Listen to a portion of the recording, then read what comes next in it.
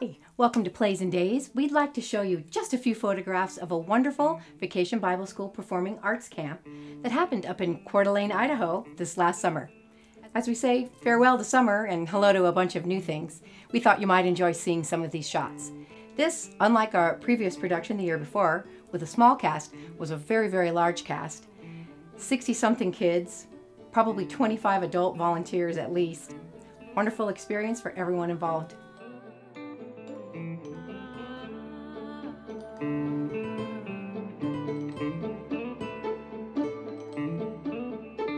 Please enjoy our shots, and I hope you're encouraged that you can totally do this thing.